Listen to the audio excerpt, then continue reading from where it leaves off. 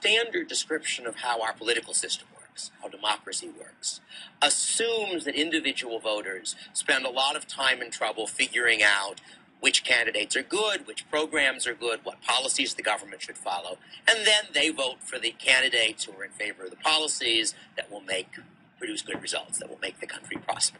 That's sort of an implicit assumption if you think of sort of the high school civics class description of democracy.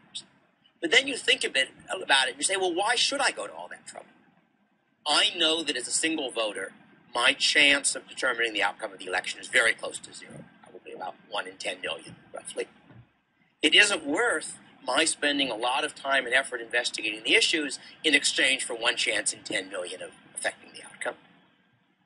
Given that that's the case, most people won't.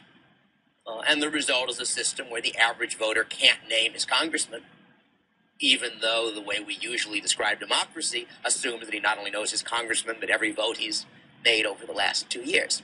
So that's a respect in which our political system is not incentive compatible. And that's one of the reasons it doesn't work very well. It doesn't tell you if there's any better way, but it does tell you that there's a, a serious problem in getting uh, government to do the things you would like.